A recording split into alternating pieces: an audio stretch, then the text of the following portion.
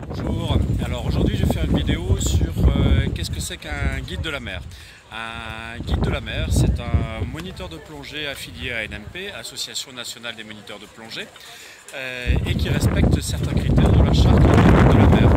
Le professionnel qui a un titre guide de la mer, c'est un professionnel qui euh, a certaines valeurs concernant l'accueil du public et aussi concernant la défense de l'environnement et tout ce qui est de plongée, d'où l'appellation guide de la mer.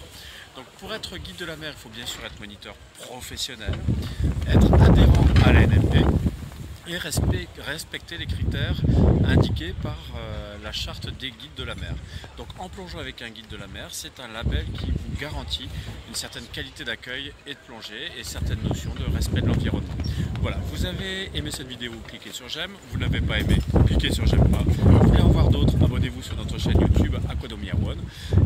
si vous voulez aborder d'autres sujets, n'hésitez pas à me passer un petit coup de fil, à rédiger un petit commentaire euh, sur Facebook, sur ce blog ou par mail. A bientôt